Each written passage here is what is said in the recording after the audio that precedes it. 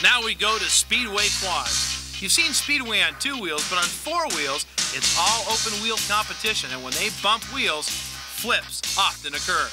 Here you see a rider getting boxed in in the corner, and boom, he's up and over.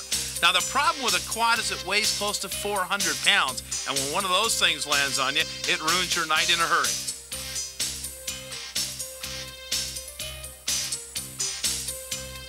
Quad riders can really get hooked up.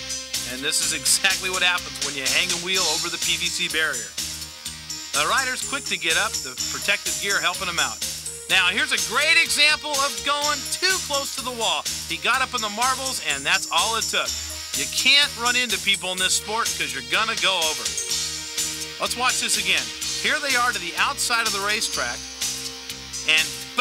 cannot pass on the outside of the corners unless it's smooth. He got hooked up in the marbles, caught a little bit too much traction, and he's up and over. Quad speedway racing has really caught on in the United States, and it's good to see the place for the four wheels to have some fun. And it's also very spectator friendly. Here you see an example of what happens when you box out and do a low side. Come in on the inside of the racetrack, try to get the advantage. Two riders already there. There's just nowhere to go but up in the air. Now, the secret in Speedway is to keep your line tight. Get in as tight as you can and don't let anybody get by you.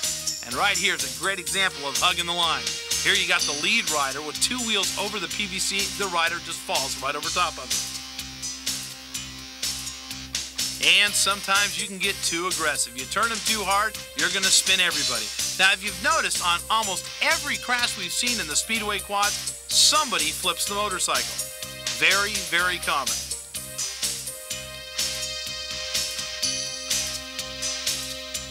This one here could have been tragic. Had that rider been hooked up a little bit more, he'd have flipped all the way down the front chute.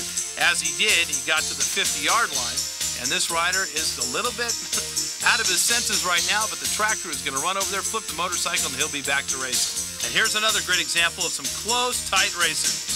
Touch, boom, gone.